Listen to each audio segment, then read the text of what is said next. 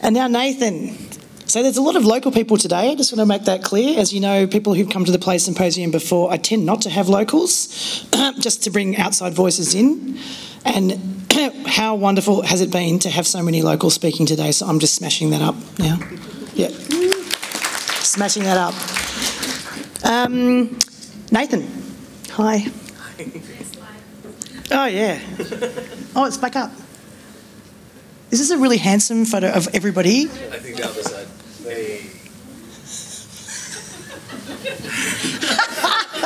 Especially today when we're we're talking about you know innovation. I have been up here for two and a half days and I still can't do it. Like, anyway. Nathan Harrison. He's a performer, he's a writer, and he's a game maker. He works as a solo artist and as part of collectives Applespiel and Boho Interactive, creating theatre and games about nature and social ecological systems. Now, he's a 2021 Griffin Studio artist. What's that? I just had a residency. I didn't realize I left that in there. Good. I was, I was like, oh, that's cool. I wrote a play. Excellent. He's a radio broadcaster and a host of the podcast Hottest 100s and Thousands. Can I introduce you to Nathan? Thank you. Got to plug the pod, I guess. I didn't realize you'd be reading that out. uh, hi, everyone. Uh, my name's Nathan. My pronouns are he, him. Uh, I grew up on Dharawal land in the Illawarra. I now live and work on Bidjigal Gadigal land in South Sydney. Um, and it's been a real privilege to be here on Ngunnawal Ngambri land uh, for all of this week. I've been making things and connecting with people and having beautiful conversations, and I love being on this country a whole lot. Uh, so I'd like to pay my respects to the land and to elders past and present, and acknowledge that sovereignty was never ceded. Um, I would like to apologise at the top. This slideshow is not going to be anywhere near as nice as Kier's. Um, not too much to apologise for the quality, but there's probably not as many words on there as there should be, and I know some people, it's very useful to have words on a slideshow. So I'm sorry for that. Um, feel free to grab me afterwards to ask questions or give disparaging comments if that's um, helpful. I'm going to talk about the work that um, Boho Interactive makes, and I'm going to try and talk a little bit about our process and how that's changed over the last 10 years or so. Um, and then maybe I'm going to try and dive a little bit deeper into a particular game and talk through the steps and decisions we made to make that game. Yeah, so Boho Interactive is a. Um, do I have a slide for this? We're also going to have a lot of black in the slideshow, and that's a lot of that will be the parts I thought about walking here this morning. But that's fine. No, back we go. Boho Interactive is a collective of artists, mostly with a theatre background, um, that work with scientists and other research and cultural institutions to make tabletop games about uh, complex systems, about social ecological systems, about things like research, um, and all sorts of things. Uh, our games are hands on, tactile, analog, which is largely because we like having a physical experience around a table with someone, but also largely because we have no digital skills to speak of. Um, Boho started in about 2006 before I joined. It, was originally Bohemian Productions. It was a theatre group doing a lot of Pinter plays. Um, and over time became more interested in uh, making their own work, became more interested in complexity and how to represent that in theatre and more interested in interactivity and, and getting audiences to do things and sort of completing a narrative and conceptual image with the people that had come to the show.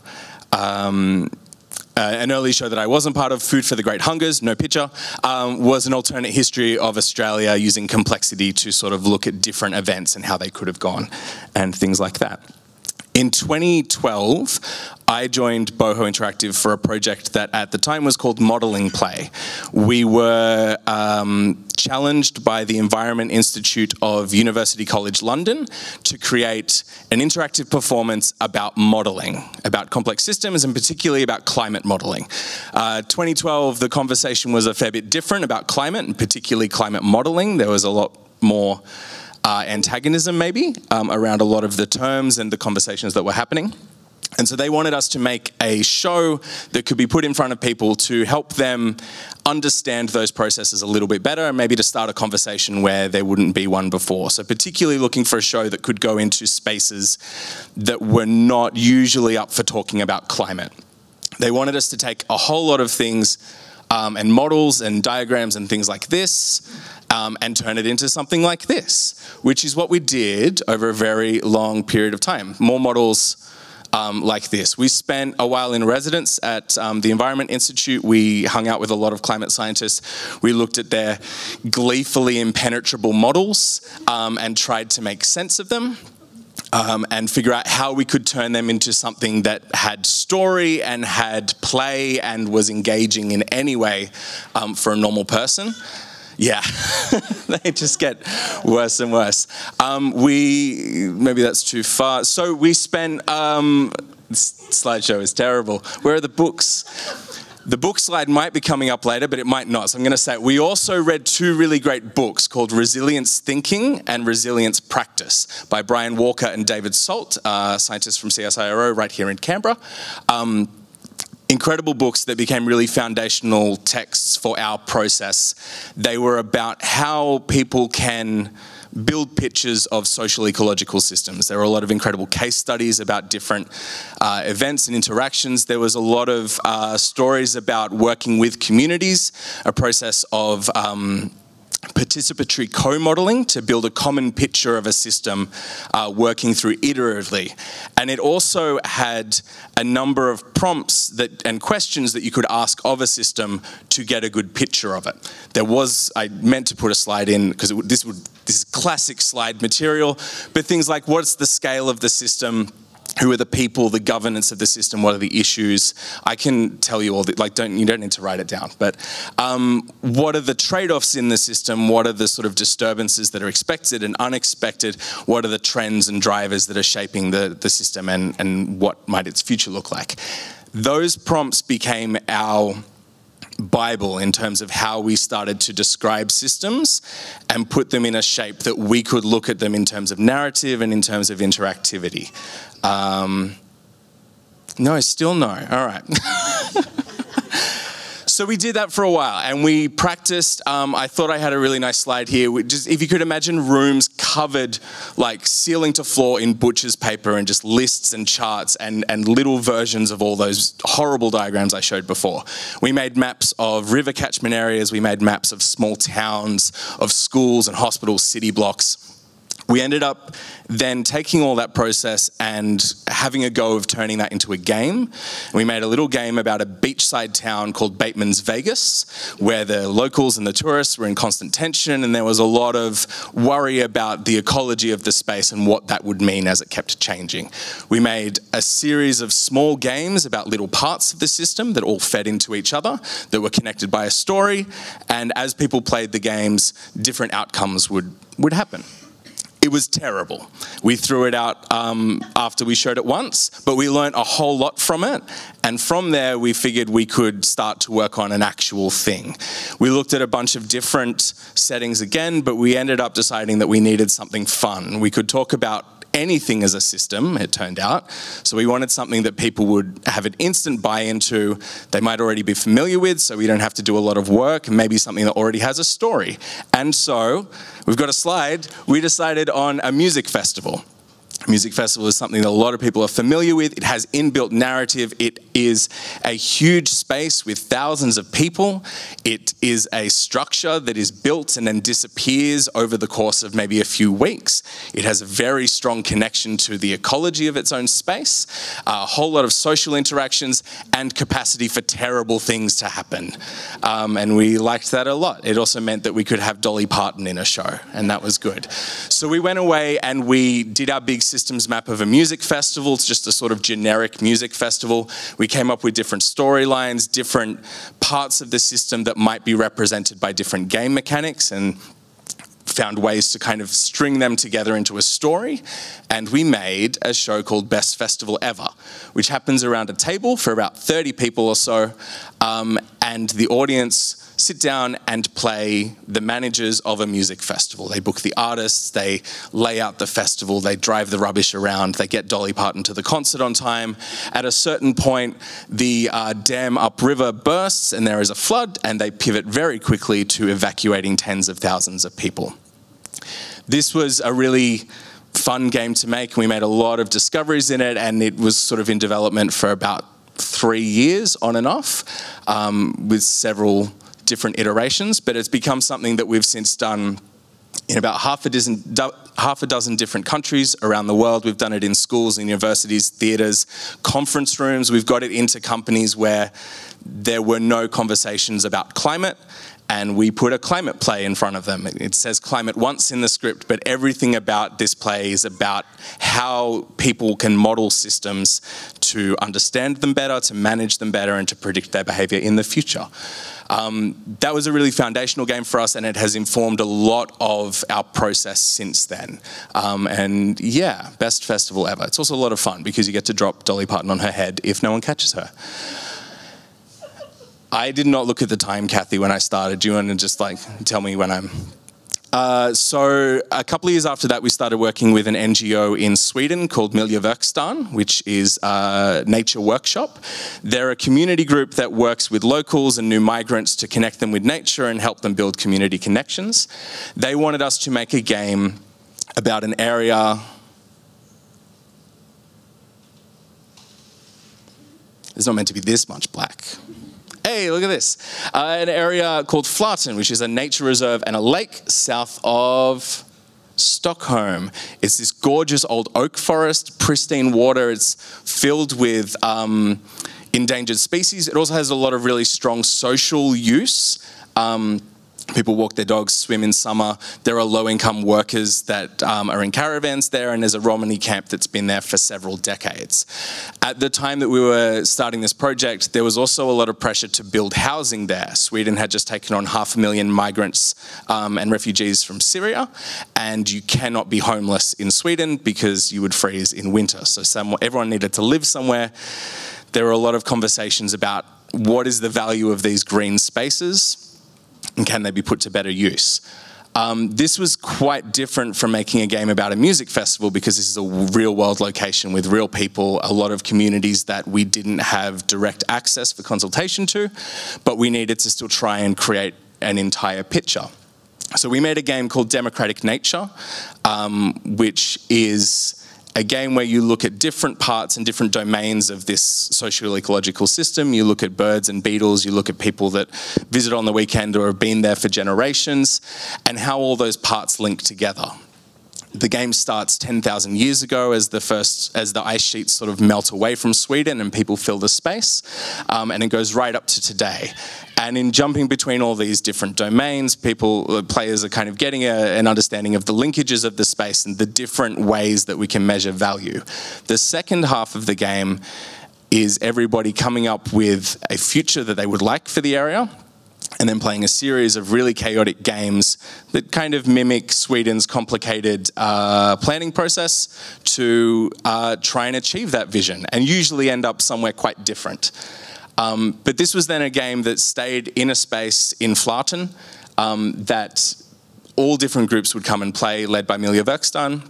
We had locals, um, council members, and new migrants all playing at the same time and then having a conversation after the game about the future. A big thing that we've sort of learnt, and Best Festival Ever was a huge part of it was that these games are a really good conversation starter. They can give people a common experience, they can give people a language and a toolkit to think through things, and a sort of common touchstone you can then have a conversation. Often we'll have an expert come in and people that have never engaged with that kind of science are able to sort of talk and ask questions of an expert, a scientist, a researcher, in a way that they wouldn't be able to before because the kind of dynamics and relationships that the scientist works with have been represented in these little games. Just by driving trucks around your music festival, you start to get a better understanding of feedback loops. And so you can talk to a fire scientist a bit better about bushfires. Um, so that was democratic nature. That's still democratic nature. I had a lot more slides than this, uh, than I thought I had for this, I guess. um, yeah, so we finished that in about 2016 in Sweden. It was very cold. We were working in a repurposed um, bathers pavilion next to the lake in winter, and the generator stopped working. In um, 20 2020, we started working with the Lowitja Institute, which is an Australian health research body that funds and trains um, researchers in doing health research projects with Indigenous communities, particularly going out into remote communities, conducting research for uh, their own health projects. Uh, the Lowitja Institute had a bunch of training resources that they felt people weren't engaging with at all, so they wanted to see if we could make something that was a little bit more hands-on and give people something of a sandbox environment where there could be mistakes made and it's not creating any sort of horrible ethical disasters or things like that. So we worked with Lowitja Institute staff for quite a while, and we had some incredible conversations um, with people from community, people who've worked in community. It was a real honor and privilege to get to have those conversations and do that learning. And something that came out of a lot of it was the sort of realization that I think we'd been thinking about for a little while, but it really came to the front that a lot of game mechanics, particularly board game mechanics, but I think um, all game mechanics are deeply rooted in colonialism. They're about occupying space, they're about getting points and winning, discovering things, all that sort of thing. That was not going to work for this project at all. So we had to really rethink the way that we framed and designed our games and the sort of way we talked about objectives when it comes to like managing a system that's represented in the game. We made a series of games for this project, um, which we called Week in the Bush, we drew a lot from storytelling games and role-playing games and made a series of games that uh, some of them are just a deck of card prompts where players will draw a map and tell a story about an entirely new research project and sort of come together to figure out ways that they adapt to challenges and, and changes along the way. Um, one of the games is about planning a research project with blocks, but then needing to constantly update it as new information comes to light and you make new connections. Uh, one game is about, not that's the map one. uh, one game is about, uh, it's this almost choose your own adventure story where you are building bonds with a community and those bonds let you see past the symptoms of the problem in the community to find the actual problems so that you can actually start having a conversation about how to improve things. A big dynamic of those games and of Lowitja's work is making sure that when there is a research project happening in a community, not only is the community protected in that process, but the community needs to benefit from it as well. That there should be some sense of an exchange. If people are giving their lived experience and their knowledge, that that it can't be a one-way transaction. Um, and so we tried to capture that in those games through storytelling mechanics. And the nice thing about that and a lot of the ideas that were in those materials and those conversations, is they all came back to our systems thinking stuff as well. Ideas about not being able to observe a system without being part of it. The idea that the relationships you form for a project exist past the bounds of that project. Um, there were some incredible case studies of like a, a researcher going out into a remote community to do some health research and taking a handy worker with them who would just fix up people's kitchens while they were doing work. There was another story about researchers who stayed in touch with the community and decades later were still helping the community get grant funding for projects and activate other community projects and things like that. Really beautiful community ideas that have clear systems parallels and there are also things that I think we all took into our sort of personal practice as well in a really lovely way. That was a really beautiful project and it was a real honor to get to work on that. Um, how am I going for time, Kathy? Almost done. Great, that's good. I'm going to very quickly uh, talk specifically about a particular game and the decisions we made because that might be useful to hear. Busy Mayors was a game we made in Singapore with the Earth Observatory Singapore. Um, who asked us to make a bunch of games about natural disasters, particularly typhoons and volcanoes, and really interested in the point between finding out that a disaster might occur and the disaster occurring itself. Not so much when it happens or afterwards, the cleanup was a separate thing, but they were really interested in that sort of decision making window where you have some but not all information and you have some time to react. Singapore doesn't get many typhoons and has no volcanoes, but they're a really active player in the region in terms of how they prepare, like help other nations prepare and adapt and respond. So we made a series of games that now live at the Singapore Science Centre about this little window of time. We were really interested in this particular trade off. Um, which is basically as time goes on, the certainty of the forecast and your certainty of what's going to happen increases. But as that happens, your ability to act, make decisions, and reduce casualties decreases. At the start, you have no information, but you could do anything. By the time that you know exactly what's going to happen, it's too late. And that's a really clear trade off that has strong links straight into game mechanics and narrative stories as well. So we started playing around with different things and we came upon the idea of a election cycle. A really busy week, it's the last week of a campaign. And so we have in this game, there are three teams and a storm is going to hit one of their towns. They're all in an election. And they basically just have to decide what of their campaign to sacrifice to prepare for a storm that may or may not hit them. It's just a big sort of decision making conversation game where everyone will sit around a table and stress out because there are no good options. But it's a lot of fun. And a campaign election also gives us a lot of room to play with story. And that's, uh, again, as artists with a theatre background, that's kind of a lot of fun for us. So we made this game Busy Mayors. Um, the storm moves or doesn't move every round and people just make decisions. But it was a very clear link for us from that trade off to what is a mechanic that works. And we're like, oh, maybe replacing things on a schedule. If you've got limited spaces, you need to either have as much election prep done or as much evacuation prep done. And then what's a narrative for that? Well, we can do the same thing, and it's really easy to build a story that escalates in intensity over time. Um, and yeah, that's it, I think. Mildly chaotic, but um, I think just like as a closing thing, reflecting on those projects over the last 10 years that I've been doing this as part of Boho Interactive, I think the thing that has changed the most is over time we've tried to give more and more agency over telling the stories and over making decisions to the players.